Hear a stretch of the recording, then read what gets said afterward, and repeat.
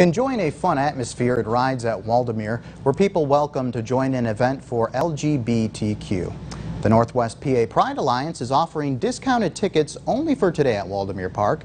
Now the tickets include unlimited rides and slides for $31 a ticket instead of the usual 43 bucks. Now the president of the Northwest PA Pride Alliance says it's great to bring a great it's good to bring a great atmosphere to welcome diversity to the park.